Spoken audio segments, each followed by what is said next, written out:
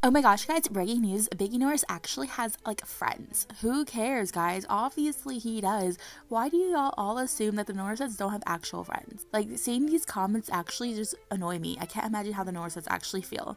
But anyway, so a legend filmed Biggy Norris at the beach with some friends surfing and having a fun time. And of course, this is the toxic comment section. Biggy has friends. Biggy has friends. OMG. Biggy has friends. Mm hmm, he does.